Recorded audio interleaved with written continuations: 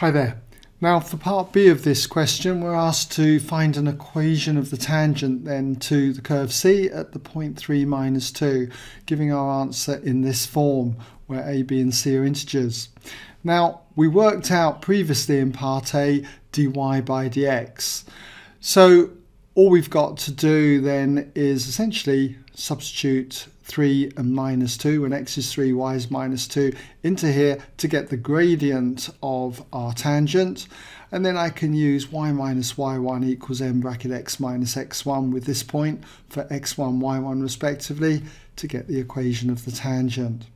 So that's where we're going with this. So first of all then all I need to say is when x equals 3 we know that y equals minus 2 and we can substitute that in for dy by dx and if you substitute these values into here what you get is 22 over 6 which reduces down to 11 over 3 if we divide top and bottom by 2.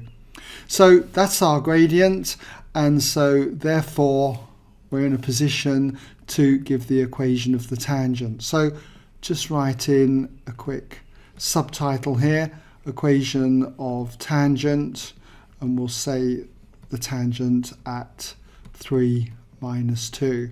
And what is it going to be? Well, it's going to be basically y minus y1, so y minus minus 2 equals m, the gradient, which is 11 thirds, times x minus x1, x1 being the 3.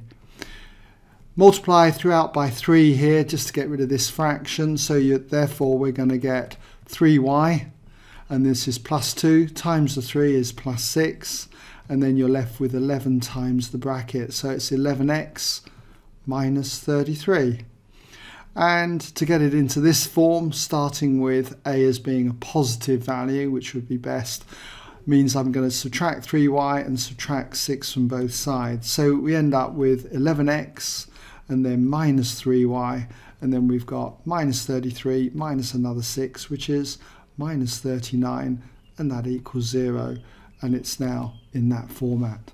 Okay?